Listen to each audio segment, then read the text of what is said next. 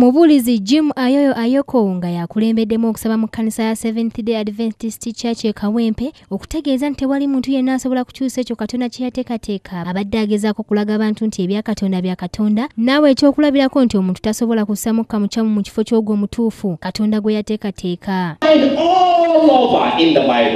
And particularly when Isaiah was given a lesson, and we consider Isaiah as, as, as one of the major prophets. We talk about major.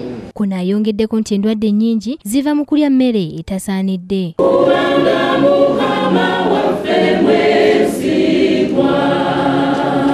Ono abadde awerekeddwako ababuulizi banne okuva mu mawanga ag'enjawulo nga balaze engeri omuntu gy'asobola okwejjanjabamu ng'akozesa ebintu ebimulinaanye awatali kugenda mu malwaliro. Tukozese amanda ago agali mu nsonda ago golaba mu nnyumba gogenda okufumbisa emmere.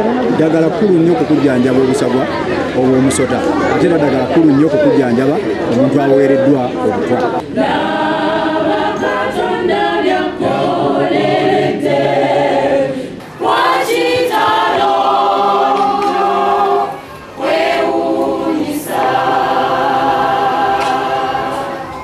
ate bba abaseveniside abeetabye mu kusaba okubadde mu kkanisa y'ewankulukuku basonze ssente ezikunukkiriza mu bukadde obutaano nga zakweyambisibwa mu kugula ebyuma ebinaakozesebwa mu kkanisa okusobola okunnyikiza ekigambo kya katonda. Bino bikoleddwa mu mukolo ogugendereddwamu okutongoza ennyimba eziyimbiddwa kwaya eya kkanisa eno eyitibwa deliverance audio kwaya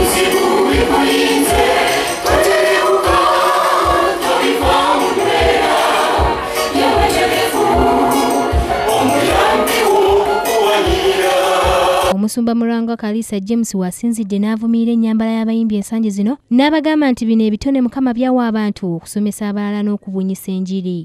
Omuyimbi yeye muntu eyandibadde decent. Kebeere mu nnyambala ne mu ntambula ze zonna ng'ali decent kubanga abuulira millions and millions of people. Omukolo guno gwetabiddwako kwaya ez'enjawulo omubadde deliverance audio remnat crew ne solomons kwaya aida nakazi ne segguja decent be bakusakidde eggulire lino ku lwabukedde tv Oh,